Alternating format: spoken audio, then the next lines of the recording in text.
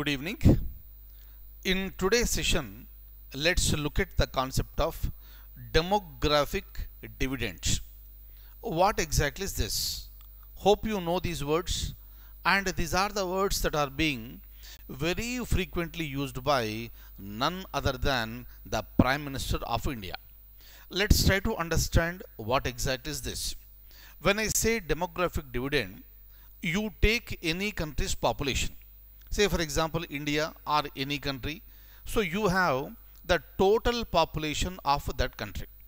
And out of this total population if the working population is more then definitely that will lead to the growth of the economy.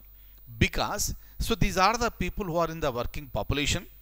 They have the capacity to produce. They have the capacity to work more for the development of the nation and they will take part in the growth of the economy.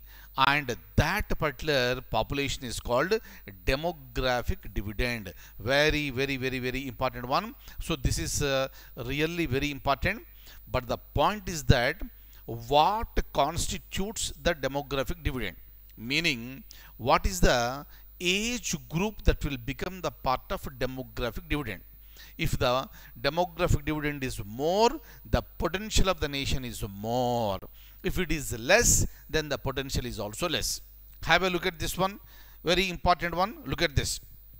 What is the age group of higher proportion of a working population required for a demographic dividend? So you need to have a particular age range.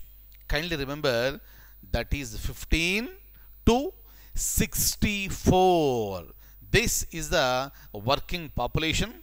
If the number of people is more here then we can say that is more demographic dividend and the nation has the potential to grow. Very very very important one. So kindly remember.